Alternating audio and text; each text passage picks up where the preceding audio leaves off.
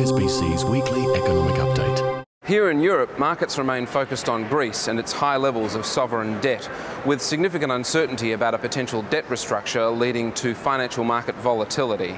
Half a world away, and far more important to Australia, Chinese data showed signs of robust growth and strong inflation. Indeed, Chinese authorities remain more concerned about strength than weakness and tighten monetary policy further in response to concerns about overheating. HSBC's weekly economic update.